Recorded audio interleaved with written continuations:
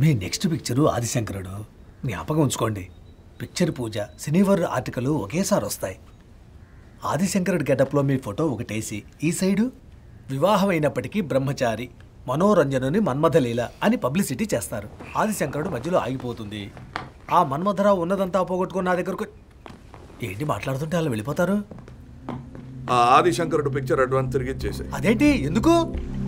నాకు టైం లేదు పిక్చర్ చేయడానికి. ఎవరు చెప్పారు? తొంభై రోజులు ఏకదాటిగా ఇచ్చాను. ఆ తొంభై రోజులు నాకు వేరే పని ఉంది. తొంభై రోజులునా? అదేం పని?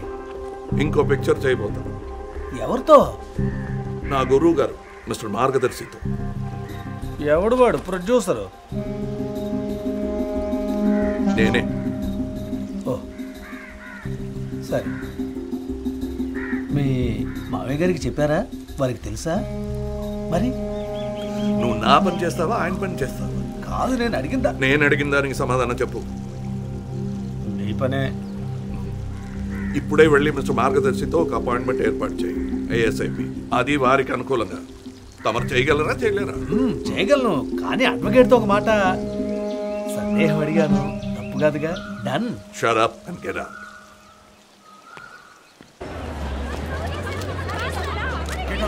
వచ్చారు వచ్చారు.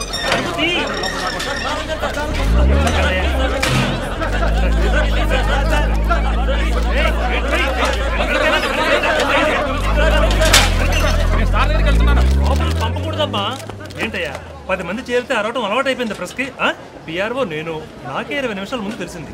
ముందు మీటింగ్ పూర్తిగానివ్వండి అయ్యా తర్వాత ఫుల్ డీటెయిల్స్ చెప్తాను. సార్ మీ మనోగారు సమాధానం చెప్తున్నా వెళ్ళారు? అరే నీకు ఇంటర్వ్యూ ఏర్పాటు చేస్తానని చెప్పాను కదా మరి ఇంకెందుకు అరుస్తావు?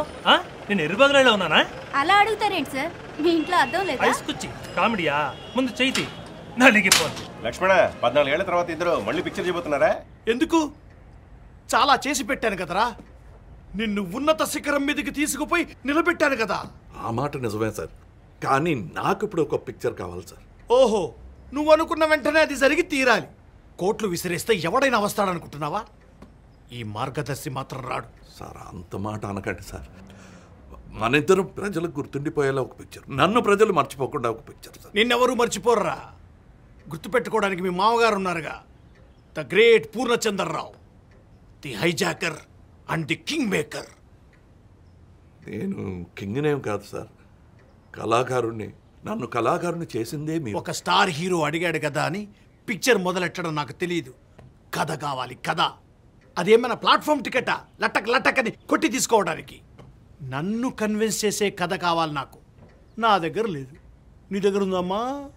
లేదు సార్. సో సింపుల్ జరగదు. ఇక నువ్వు వెళ్ళచ్చు.